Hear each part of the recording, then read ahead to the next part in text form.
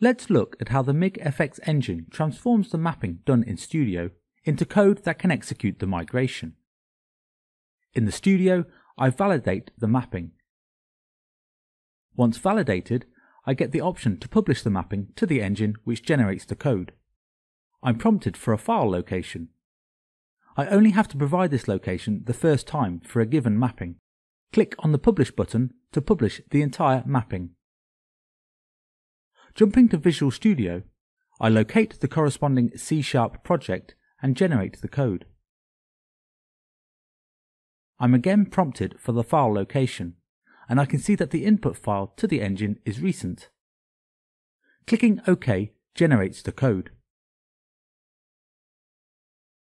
The MIG FX Studio allows me to create mapping of any complexity. The task of transforming this mapping into robust, structured and efficient code is easy and done in seconds. Just publish the mapping and generate the code.